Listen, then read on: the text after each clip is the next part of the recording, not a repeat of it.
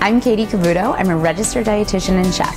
As a culinary nutritionist, I'm always looking for new ways to get creative in the kitchen, and as a lover of whole grains, I enjoy seeking out the versatility of something that's so healthy and important in our diet and sorghum being a newer whole grain on supermarket shelves was so intriguing to me. I was excited to get into the kitchen and try it out.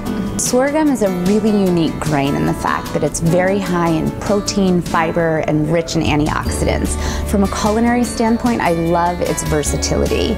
Easy to cook up, you can really add it to a variety of dishes, from salads to traditional pilafs even including it in morning smoothies.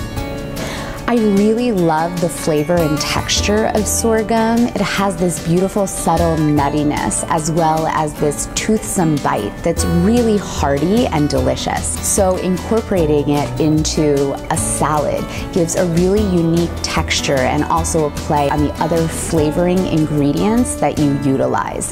One of my favorite uses for sorghum has to be popping it. How fun, creative, and unique. While you can eat it on its own, it's also a really beautiful addition to a green salad or even a protein recipe to add a little bit of crunch and a whole lot of fun to the dish. If you're a lover of whole grains or simply looking to introduce more whole grains into your diet, I would definitely try sorghum. It's inexpensive, rich in flavor, rich in texture, and packed with nutrient density. From its high fiber and protein content to a vast number of antioxidants, its health benefits are unending. And when it comes to culinary uses, it's such a fun way to get creative in the kitchen. In my new book, Whole Cooking and Nutrition, I was really excited to introduce my readers to sorghum because let's be honest, we all love some added inspiration to our everyday meals. One of my favorite tricks when it comes to cooking sorghum is making a big batch.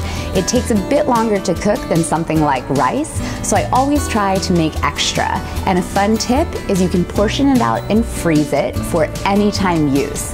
I love it in breakfast cereals, baked goods, salads, soups, you name it. It's really a grain that I know you're gonna enjoy too.